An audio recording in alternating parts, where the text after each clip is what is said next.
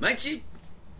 ポチベはいポチベキ中9年スーパーポチベティーチャー福地でございます。さあ今日の話なんですけども今日はですね失敗するか成功するかではない。自分が行きたいか行きたくないかどうかだという話をしたいと思います。この話はですね今もうアメリカで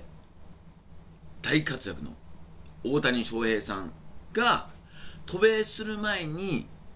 当時の日ハムの監督栗山監督と話した時に言った言葉なんですけども、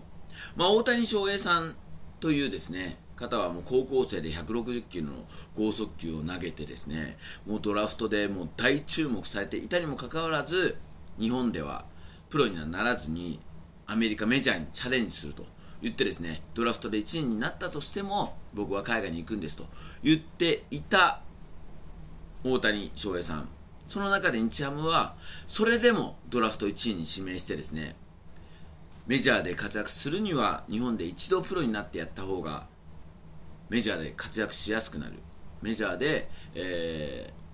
ー、より自分の力を発揮しやすくなる。というプレゼンをですね何度も何度も重ねてで大谷翔平さんが日ハムに入るという経緯がありましてで日ハムに入ってからもですね、えー、投打に大活躍をしてで25歳に大谷翔平さんがなった時に FA でメジャーリーグにチャレンジすれば何十億何百億のですね契約が取れた。にもかかわらず大谷翔平さんは23歳でメジャーにチャレンジをしたんですよ。で23歳で移籍となるとですねメジャー最低年俸での移籍になるんです。そうなるとですね今までもらってた日本でもらってた年俸よりもささらに低くなってしまう。そんな悪条件でメジャーにチャレンジをすることになる。大、えー、大谷翔平さんのことをですね、えー、常に考えている栗山監督は23歳の大谷翔平さんに本当に25まで待たなくていいのかと。あと2年待てば大きな評価を得て何百億と契約金そして、えー、年俸をもらえるんだぞと。本当に翔平それでいいのかと。言った時に大谷翔平さんが成功する失敗するとかじゃないんです。僕よりも上手い選手がいっぱいいるメジャーリーグに僕は早く行きたいんです。という言葉を残したんですよ。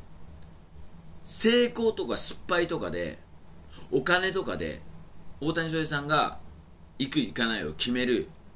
そんな物差しではないんです。常に最高のリーグ最高の選手の中で自分がどこまで通用するのか自分がその場所で一日でも早くそこの場所に行きたいその場所でプレーしたい純粋にそれだけで23歳でメジャーに行きそして今30歳になる、まあ、今季も MVP 確実視されておりまして MVP を3回以上取った選手はこの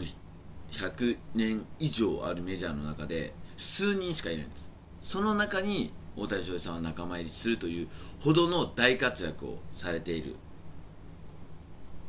大谷翔平さんの中で成功とか失敗なんかそんなものではなく自分が行きたいか行きたくないか。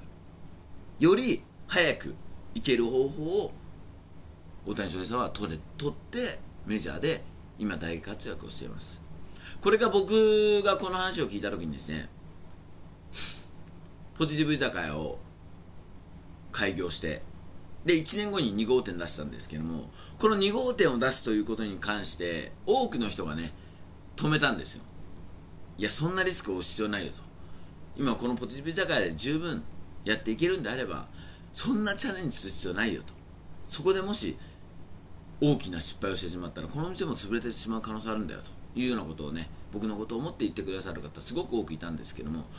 でも僕は恐れ多いんですけども大谷翔平さんの全く同じ気持ち成功する失敗するとかではなく